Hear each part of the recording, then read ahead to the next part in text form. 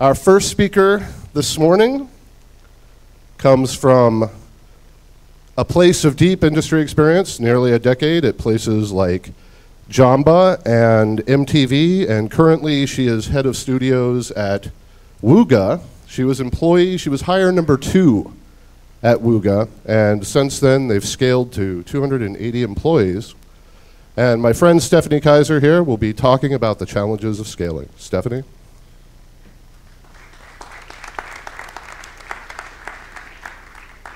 Thank you, Scott. Does that work? Yeah.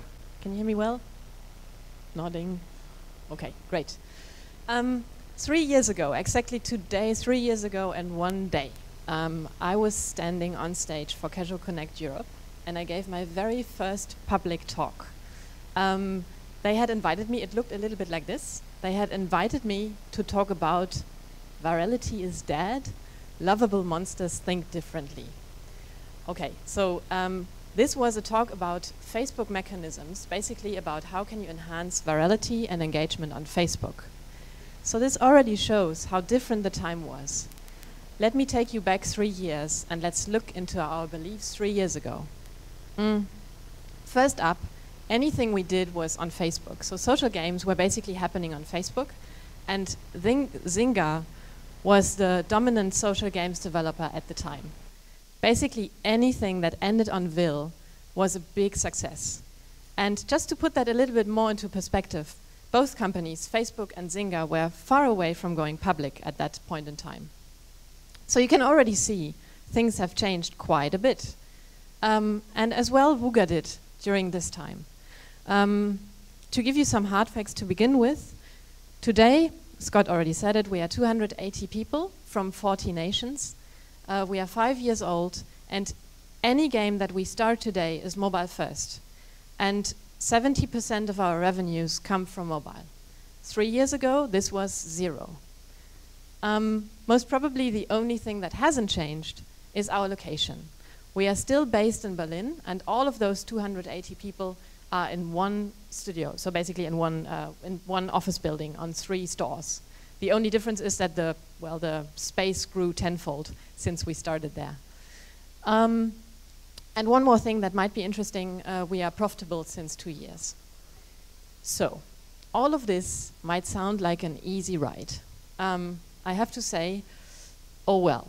Um, there were quite some ups and downs, and I would like to talk about some of those ups and downs over the past three years. Um, but to start with, please bear in mind, this is just a snapshot. So this is Wooga 2014 that I will describe to you now. Um, and since we keep learning and uh, adapting, this will change quite soon. So it's just now and today, and it's all work in progress. So, to start with, this talk is about scaling, so I thought I put out a picture that some of you might know. Um, scaling is like exchanging all components of a car while driving it at 100 miles per hour.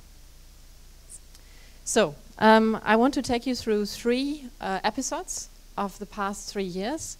And the first one is about size.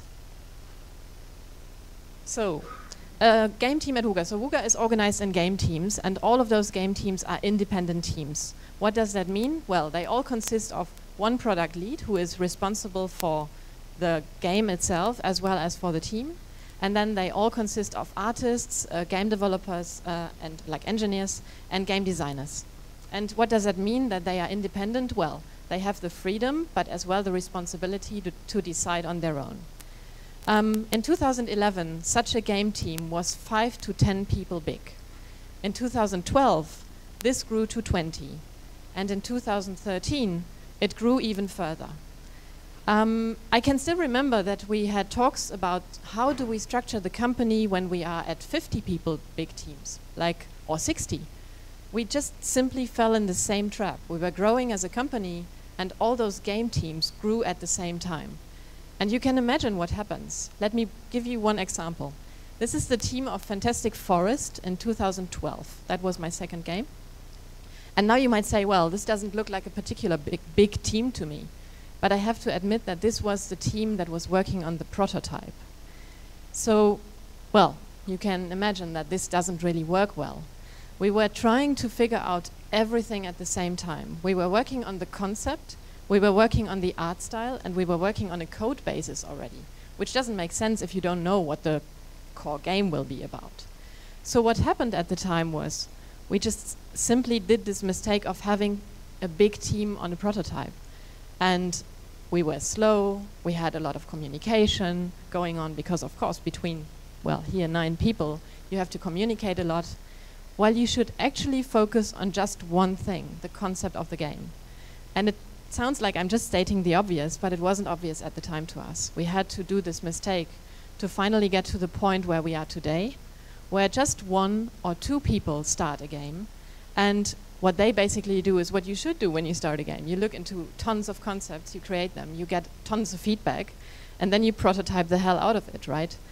Um, so this is how we changed, but we had to make this mistake first. All right, and not only in prototyping stage, but as well as la at later stages, we are trying to keep our teams as small as possible. It depends a bit on the type of game, but we try to have between, well, 5 to 15, I would say. All right, so this that much about size. The second episode is about communication. As I said before, um, we have independent game teams, so you can imagine them as mini Woogas. Um, they work independently in a collaborative way together, but they have their own mini CEO, basically, the product lead. And everybody can do the math. If you have, um, if you are growing to 280 people, but at the same time you try to keep those teams small, well, you just end up with tons of teams. and basically, at the moment, it's around 20 game teams.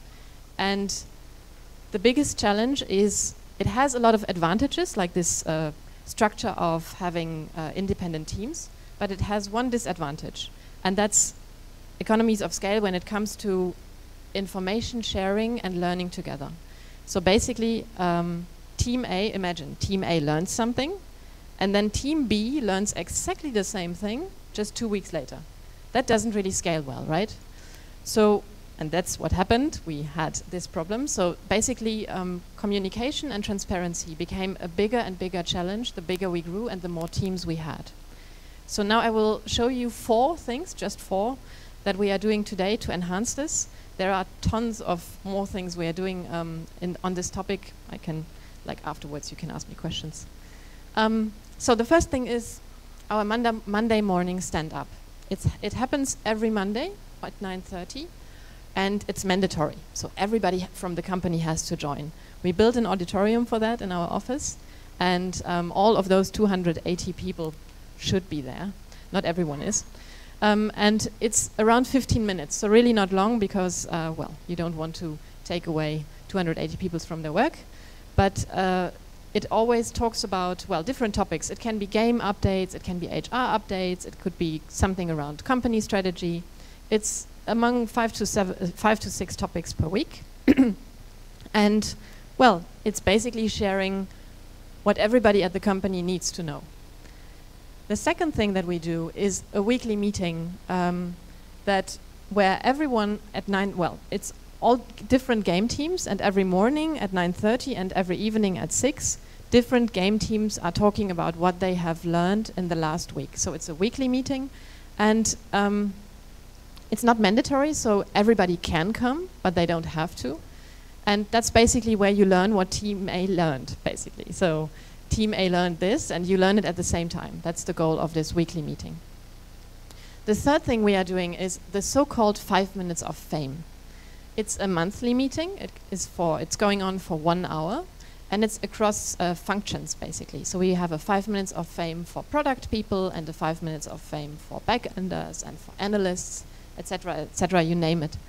Um, and again, it's not mandatory, but you can go there if you want to learn what they have learned. And basically, anyone, let's, let's take a product, uh, five minutes of fame, anyone from the product managers or game designers can have their very own five minutes of fame and talk about something that they have learned about in the past months or whatever, just to share the learnings across all Woogas. And then one more thing we did to enhance transparency is a very new format for us. It's an Ask Me Anything quest uh, questions um, hour, where Jens is basically answering every question of, well, not everyone, uh, every question, but um, many questions of the employees. The way we do it is that we have a website where people can submit their questions, and then everyone from the company can rate those questions.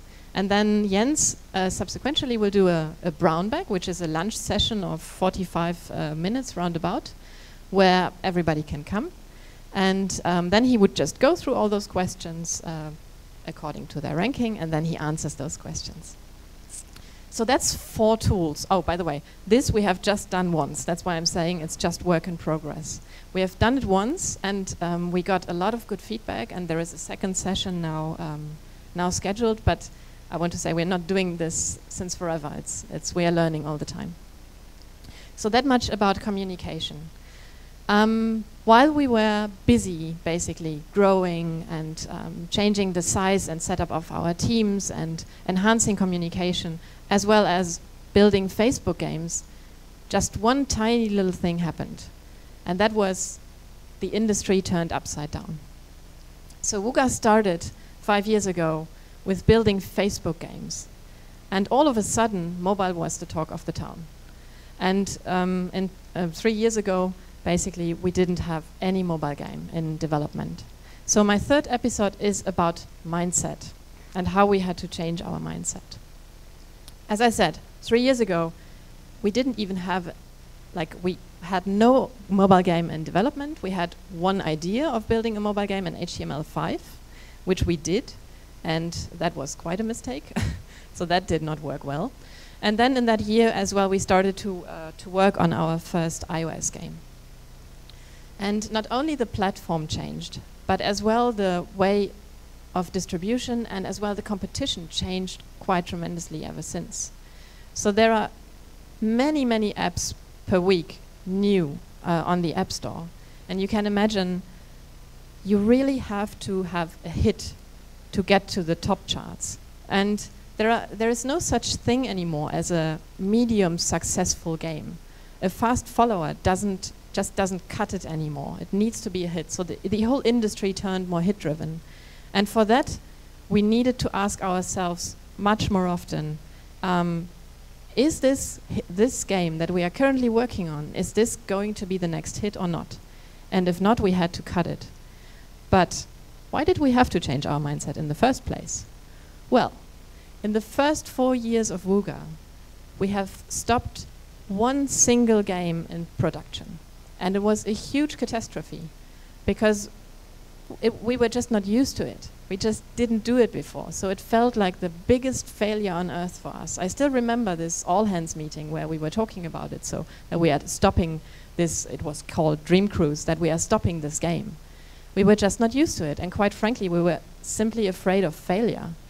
And because of that, we didn't have, we didn't have a development process in place where we were constantly asking ourselves, um, is this going to be the next hit? We just didn't have that, and we were not used to asking these questions and stopping projects.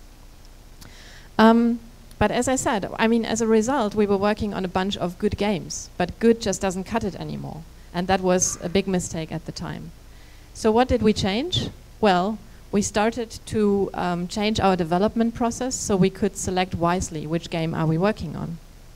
Today, we have several concept, uh, several stages uh, of um, game development in place, and at each of those stages, we are asking ourselves: Is this going to be the next hit? And as well in between, we do that in gate meetings and review meetings, where basically uh, several people come together, and um, we have all the feedback on on user user tests and feedback from the company on the games and then we question really hard. And if we are not sure if something is going to be a hit, then we just stop it. Just. And just one more thing to say about this it's not the reviewer committee that is deciding this, it's actually the mini CEO of their own games. So I said it before we have product leads per game, and they are the ones who decide whether a game should continue or not. Um, so and then after stopping, so as a result, we have stopped in the past months around 10 games in several development stages. It could be during prototyping, but as well uh, after soft launch. And it was not a catastrophe anymore because now I couldn't say we are used to it, but it gets more normal. Mm. The ultimate goal of all of this is that we want to make sure everybody works on projects that matter, everybody in all game teams and that could potentially be the next hit. So to sum that up, in the past three years we have changed the size and setup of our uh, teams, the way we communicate with each other, as well as um, our mindset on how we create games. So to come back to this, um, exchanging all components of a car while driving it at 100 miles per hour might sound quite scary and adventurous, but actually it's it's a it's it's quite an exciting ride. And if you fell asleep because it's early in the morning, you should remember one thing from this talk. Um, don't be afraid of changing, basically. Because the industry will change, that's for sure. And your company might change, and you might or might not grow like crazy. Um, but don't be afraid to fail quickly, you will, and then acknowledge it quickly and change as fast as possible. Um, I can only say for myself, it was quite an exciting ride for the past five years, and I'm sure it will be going forward. Thank you.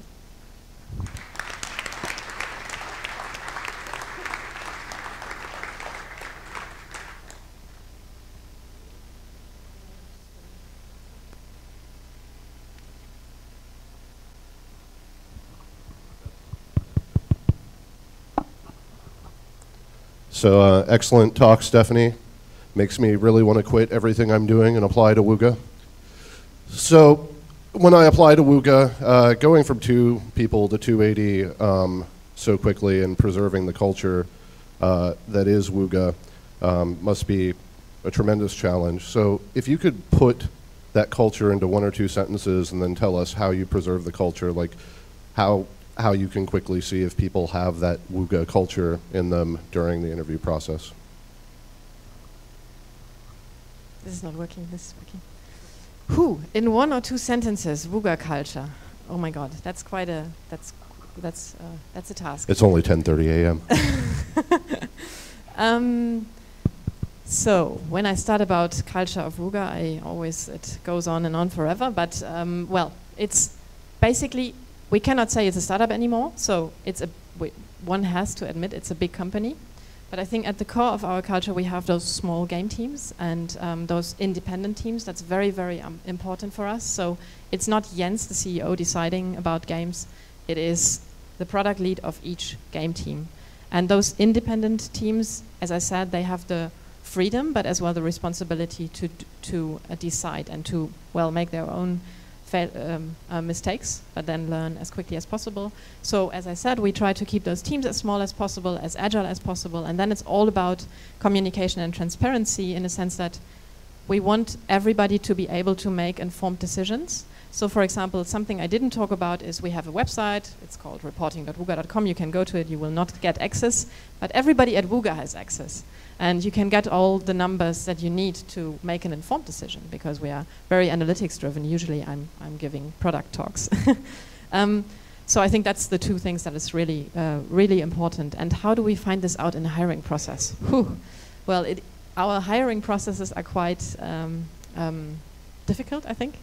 Uh, so there are always several interviewers, and um, when we hire product people, we like to give them tests as well um, that they, um, well, they have a task, what would be the next mobile hit, and then they present it to us, and then uh, we have several people talking to them and, um, well, basically asking questions around culture as well, um, just to find out if this fits. Does that answer your question a bit? It's, it's an excellent answer, especially for this early. Thank you. I'm sorry to uh, put you under the hammer like that. So, audience, who wants a piece of Stephanie? Okay. Hello. Uh, small question. Uh, you were speaking about the teams you had. I was wondering if uh, sales and marketing is included in these teams. No, it's not. So marketing is a is a horizontal, um, uh, cross-functional department. So, so the teams are only development focused. Yes, exactly. Thanks. Hi. Um, how do you find that uh, you describe the process where various projects are actually starting and uh, many of them are get, get cut, so you got, can crop and leave only the best ones, right? How do you find that it affects emotionally the people that work for Wooga, this cycle that will happen to almost everybody, right? That, that it will be cut. How do you find that they react to that? And I can only talk about my own experience as well because I had to cut several of my games. and um, well, uh, it, to me, it feels like you have a period where you are just sad, and you have to accept it. It's um, because it's your baby. You're cutting your own baby, and it's um, it is well, you know, after after the first time, you will know that it goes away as well. so you're sad for a certain time, and then it's So fine again. the, the circles of grief, right? Exactly. Yeah, yeah, exactly. Okay, it's, so- it's exactly that, and if you know that, it's it's just fine. You know, you Yeah, just have to deal with it. and I guess you create a culture that accepts failure, so uh, a because else it wouldn't work, right? It would just uh, blow away. Exactly, yeah. And I think um, something we are not doing right. We are still in this notion of when we c- stop a game, people, some people still say sorry. And one of my product leads just approached me last week and, and told me that one person had said congratulations. And that is, I think, quite good because, I mean, of course you need to cut games that are not going to be successful. So I think a congratulations in that moment is quite good as well. And of course, I mean, it's, it's difficult for people uh, at the same time because when you dissolve teams uh, so often, then some people just don't have a job right in immediately. And um, I think that, that was quite a challenge as well that I was uh, not including in the talk because I wanted to keep it brief. But um, it is kind of a moving company where a lot of people are moving from team to team all the time. And um, I think you have to create a culture where people are sure that they are not going to be cut. Like there, there will always be something for them, and I think that's like that's what we are currently working on. Any other question? Oh yeah, there. Oh, there is one. I won't you. forget you. Uh, the question is how many games uh, Vuga develops and how many they publishes within one year? How many we basically see publish? how many, what the percentage of those games which are get cut? Ah, all right. Who? I don't know the exact numbers. Does somebody of you know? Ha! Greg knows that. All right, I'm on stage all of a sudden. Um, about 60 prototypes a year, and um, out of those prototypes, we aim to release between two and three um, full launch with marketing support. Yeah. So, there was One one, more last question. There.